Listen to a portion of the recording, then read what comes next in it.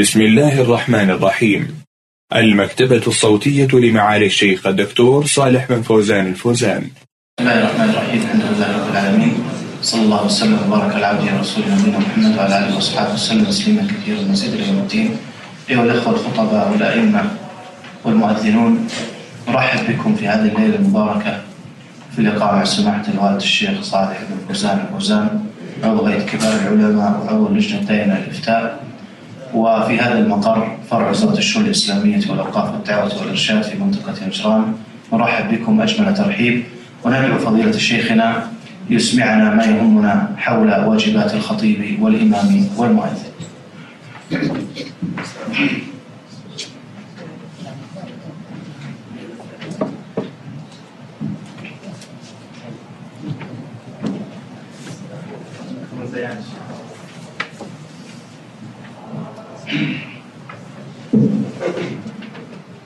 بسم الله الرحمن الرحيم الحمد لله رب العالمين صلى الله وسلم على نبينا محمد وعلى اله واصحابه اجمعين اما بعد فانني مرتبط بلقائي باخواني من أئمة وخطباء ومؤذني المساجد في هذه المنطقة. لأن مهمتهم مهمة عظيمة. فهم بحاجة إلى التشجيع والإعانة والتشاور كل ما فيه إتمام هذا العمل الجليل وفيه أداؤه على خير وجه. فإن هذه الأمور الثلاثة الإمامة الخطابة الأذان أمور عظيمة. وفيها خير كثير وفيها أجر عظيم لمن قام بها حسب استطاعته ومقدرته وفيها إثم عظيم لمن تساهل أو فرط في حقها لأنها أمانة عظيمة. وهي أيضا فرصة لمن يريد الخير. ترغيب الخير. وأن يكون قدوة. وإماما في الخير. فيها مصالح عظيمة. النبي صلى الله عليه وسلم خص الأئمة والمؤذنين. خصهم بتوجيهات مما يدل على أهمية هذا الرفق العظيم. قال صلى الله عليه وسلم الإمام ضامن والمؤذن مؤتمن. الإمام ضامن بمعنى أنه يضمن صلاة من خلفه. ضامن بأن يكملها ولا ينقص منها شيء. هذا الضمان. الضمان معناه الكفالة والتكفل بالشيء أن تحافظ عليه وأن تقوم به. وأن توديه على الوجه الأكمل الإمام ضامن صلاة من خلفه. فإذا حصل فيها نقص بسببه فهو يتحمله. وإذا حصل فيها اقتداء وإتقان فهذا في ميزان حسناته. قال صلى الله عليه وسلم يصلون لكم يعني يصلون بكم فإن أحسنوا فلكم ولهم وإن أساءوا فلكم وعليهم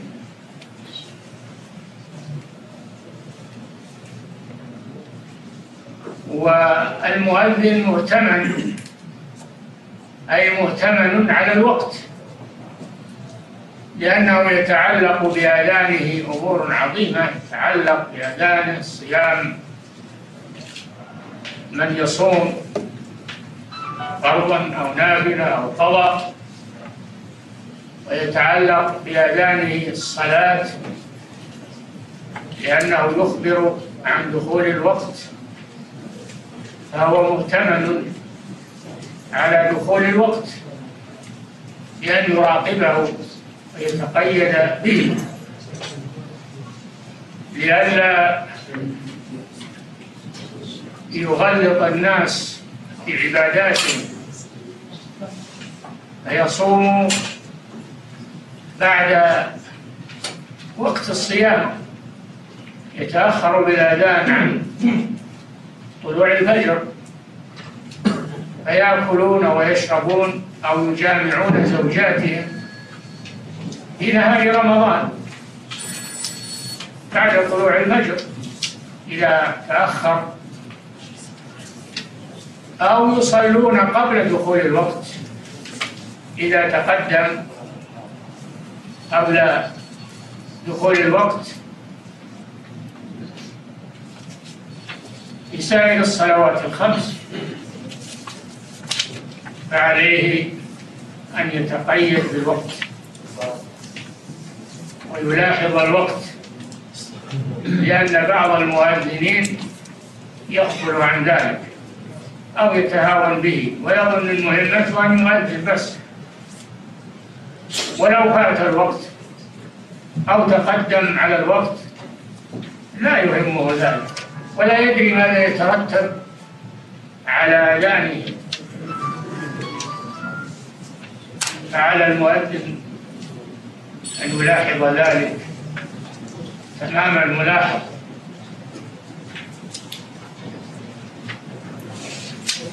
وكذلك على الإمام أن لا يشق على المأمومين أن يراعي أحوالهم.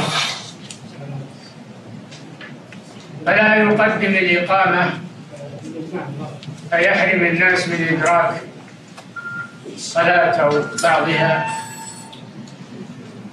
ولا يؤخر الإقامة فيشق على الناس القادمين الآتين مبكرين شق عليهم كبار السن. بل يعتدل بذلك النبي صلى الله عليه وسلم كان إذا رآهم اجتمعوا عجل وإذا رآهم تأخروا أخر مراعاة لأحوالهم. يتأخرون للوضوء يتأخرون لبعد المسافة يتأخرون لمشقة المشي ذلك من الأعذار. فيراعي أحواله أما إذا تأخروا كسلا فلا. هؤلاء لا ينظر لهم لا ينظر إلى الكسالى إنما ينظر إلى أصحاب الأعذار الذين تأخروا بسبب أعذارهم. كذلك النبي صلى الله عليه وسلم أمر بمراعاة المأمومين في الصلاة. فقال أيكم أما الناس فليخفف فإن فيهم الكبير والضعيف وذا الحاجة. فإذا صلى لنفسه فليطول ما شاء. راعي التوسط بين التطويل المثقل وبين التخفيف المخل. يراعي الصلاة فلا ينقص منها شيئا بالتخفيف ويراعي أحوال المأمومين فلا يثقل عليهم بطول القراءة طول الركوع. طول السجود. غير ذلك ولما حصل من من لما حصل من أحد الصحابة ومن أفاضل الصحابة لما حصل منه أنه طول على الناس في القراءة لما طول على الناس في القراءة وهو معاذ بن جبل رضي الله عنه مع حب الرسول صلى الله عليه وسلم له غضب وشكاه بعض المأمومين لأنه قرأ صلى بهم العشاء وقرأ بهم سورة البقرة. أول عليهم شكاه بعض المصلين إلى رسول الله صلى الله عليه وسلم فأنكر عليه قال أفتان أنت يا معاذ؟ قال إن منكم منفرين. أيكم أما الناس فليخفف فإن فيهم كذا وكذا وكذا. الإمام يتوسط في صلاته فلا يطيلها إطالة تشق على المؤمنين ولا يخففها تخفيفا يخل بالصلاة. يتوسط في ذلك وهذه أمر وهذا أمر يغفل عنه بعض المامونين بعض الأئمة وفقهم الله. فهو إما أن يطيل وإما أن يخفف بدون ضوابط. فهو مسؤول عن المأمومين. لا ينفرهم أيضا بالتطويل أو ينفرهم بالتأخر في إقامة الصلاة أو بغير ذلك من الأقوال والأفعال. بل يرغبهم يرغب المأمومين وينشطهم على حضور الصلاة ولا ينفرهم بما يخالف السنة. التي أمر بها الرسول صلى الله عليه وسلم. أما الخطيب في الجمعة أو في الأعياد عليه كذلك أن يراعي أحوال المأمومين. فلا يطيل عليهم الخطبة إطالة تشق عليهم كما يفعل بعض الأئمة فيطيل الخطبة إلى إلى نصف ساعة أو إلى ساعة أو بعضهم إلى ساعة ونصف. هذا غلط. لا يجوز هذا. كانت خطب النبي صلى الله عليه وسلم كلمات معدودات. لا يطيل الخطبة عليه الصلاة والسلام. ولكنه كان يجزل الخطبة بألفاظها وإلقائها يهتم بإلقائها حتى كأنه منذر جيش إذا خطب على صوته واحمر وجهه صلى الله عليه وسلم كأنه منذر جيش يقول صبحكم ومساكم لأنه بذلك يؤثر على المأمومين إذا ألقاها بقوة فإنه يؤثر على المأموم. أما إذا ألقاها بكسل وتباطؤ فهذا ينوم المأموم ينامون ولا ولا يستمعون له. يعطي الخطبة حقها في الإرض. وهذا لا يتأتى مع التطويل. إذا طول ما يتأتى إن سيلقيها على الصفة المطلوبة لأنه يتعب. أما إذا اعتدل في الخطبة فإنه يستطيع أن يلقيها بقوة. كذلك من حيث موضوع الخطبة فإن فإن الخطيب يهتم بحاجة الناس وبالوقائع التي تحتاج إلى تنبيه يهتم بها وينبه على الأخطاء ويعلم الجهال في خطبته أما أن يطيلها بأمور لا لا تمت إلى الحاضرين بصلة وليست من اختصاصهم. أخبار العالم وما يجري في العالم والدول و... هذا ليس من شأنهم. من شأنهم أن تنبههم على أخطائهم أن توجههم إلى الخير أن ترغبهم أن تعلمهم ما يجهلون. هذا المطلوب هذا هو المطلوب من الخطبة. كلمات معدودات جزلة مختصرة تفيد السامعين ولا تشق عليهم. أيضا إذا أطلت على المأمومين الخطبة فإنهم لا يدرون ماذا تقول يملون ولا يتابعونك. بخلاف ما إذا اختصرتها واعتنيت بها ونسقتها وحررتها فإنهم يستمعون إليك ويستفيدون. فهذا أمر يجب مراعاته على الخطباء. وفقهم الله. فإن خطبة الجمعة ليست مجرد كلام يقال وإنما هي تعليم وموعظة ونصيحة وتنبيه يخرج السامع وقد استفاد. قد استفاد من هذه الخطبة. والخطبة هي درس الأسبوع. وهي ينتظرها الناس باهتمام. فإذا اعتني بها واستعد لها فإن الناس يستفيدون ويتقبلونها ويخبر بعضهم بعضا بما سمع وحتى يخبر بيوتهم ومن في بيوتهم بما استفاد من هذه الخطبة. فعلى الخطيب أن يهتم بهذا الأمر.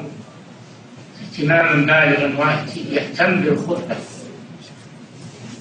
ويحررها إن كان عنده استعداد لتحضير الخطبة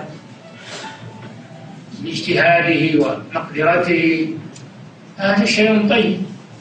وإن لم يكن عنده قدرة في تحضير الخطبة لا بأس أن يرجع إلى الخطب